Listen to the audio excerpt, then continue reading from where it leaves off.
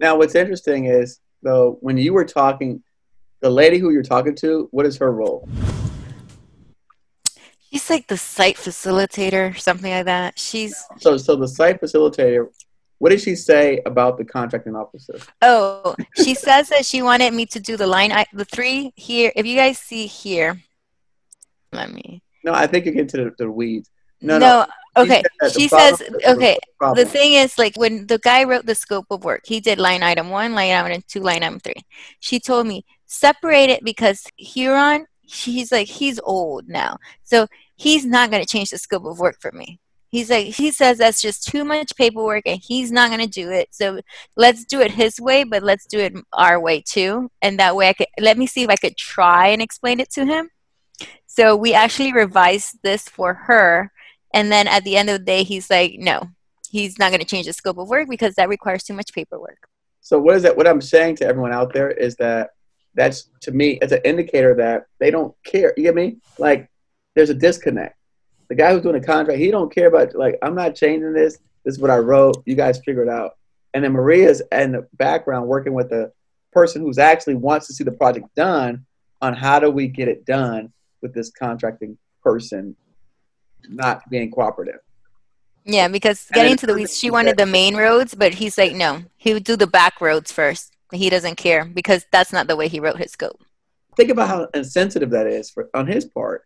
This lady's like, look, I need this done because she's at that facility, and the contract guy's like, I don't want to change my paper, I don't want to change the forms, you know. And this isn't a very it's it's a research facility for the USDA, so it's just basically grounds, but this is in a very very high end area in Miami. But again, so- regardless of whether it's high end, low end, but if, if you know, the point is, people are asking the question of about the government and the pricing and all this kind of stuff. That just mm-hmm. goes to the fact that the person that's doing the actual con- the contracting officer, the contract representative, they're not interested, right, in trying to necessarily give you the best project. They're like, look, I did it this way. You guys figure out how to make this work. This is what you told me is a budget. hmm This is what I could spend.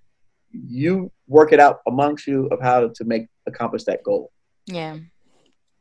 And, he and, and, and like the contracting officer is very like you said they're very separate because of all my coast guard jobs that i've been doing i've been dealing with engineer and yesterday was the first time i spoke to my contracting officer after a year all he did was sign my stuff By the way, Maria, what did the lady? What did she say to you when you first submitted the bid? What the contracting officer did? You don't remember? what no They freaked out because your number.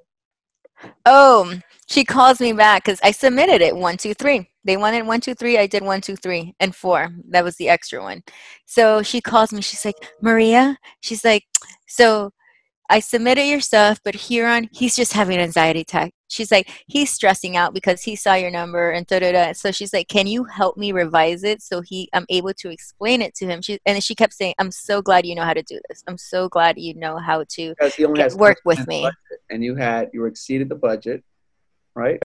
Yeah, and we exceeded the budget, so we went back. We got on Zoom. We made a little map of what she wants done. We broke down the numbers exactly how because she's like break it down even further. I did all that for her so we could resubmit to him. Now, Maria, how do you get so lucky to find people that work with you like this? Everybody else says they have a hard time. I smile very pretty. you know, everyone else says contracting officer don't call me, but you're not dealing with the contracting officer, are you? No, I deal with the person that's in the facility because they're the ones that are going to want to get stuff done. Right. And it's their project. It's for them. It's for they're the actual users of the project, and they're the ones that are sitting around and saying, "Hey, let's make a deal." And then she also said, "Hey, we're gonna get the budget for your the rest of that project next year." Right, this this one. They even the contracting officer. He's like, don't touch number two. I'm like, I ain't touching number two. I'm like, I'll wait right here. Now, the other thing is, how did you meet this lady? I went to a site visit. I responded to a source sources sought to the contracting officer. Uh, what? He- So, A sources sought from this black guy on a video on a Friday. Uh, sources saw it. Okay. I responded to a sources sought August 16th, and then a week later, I got the contracting officer sent me a thing that sends me the RFP with a scope of work with there's a site visit on this day. I was actually going on vacation that same week. And I was like, ah, I can't go on vacation. I'm like, I have to go. So I showed up. I was the only one there. Only one other person had signed up for that site visit and she wrote in the scope be here five minutes early no late comers will be accepted. I was there early and then she's looked at the time she's like well they have five more minutes. And then she goes at 2.30 on the dot she's like well i'm not waiting for them we could get started. So we were the only ones we did the whole like the whole tour with her. She stopped, she talked to us. Like at the end, she was like, we told her, like, it was under mine, but my sub is actually 8A. So I told her, we're going to bid it under his company because he's 8A, just in case you have to sole source it. So she's like, What do you guys do again? I'm like, uh, We do construction. Like, I told her what we did. She's like, Do you guys happen to do greenhouses? So we just started a conversation. So, and now this lady looked like she not the nicest. And by the end of the day, she she gave me her cell phone number to call her and let me know when she submitted when I submitted it and everything. So and then on top of that, there was something that you guys did at the site visit, a line item that you added to the bid that no one else would have ever known that didn't go to the site visit. Mm-hmm. And I still got the extra line item. it's really hard to win when you don't know the folks because how do you compete against that? Like everyone else on this call that would have bid this would not have known about that edging of the grass because it's not anywhere written. And even if I would have gone by myself, I would have not known about that either. Because I have no idea about restriping, resealing, paving roads and I took somebody that knows exactly what that is because he like I had like you guys I have the personality I say like to talk to people and I understand the lingo and what to say and how to say it and stuff but this guy had like this is and this patch we're going to do this and you have to do this and that like he understood that job completely because that's what they do. So he had the technical side and then i had the business side hey govcon giants family this is eric coffie i'd like to tell you about a new membership option that youtube has created and that we here at govcon giants tv are taking advantage of if you notice on our screen you'll see a button that says join when you click the join button, you'll see different options for people at different price levels, whatever suits your fancy.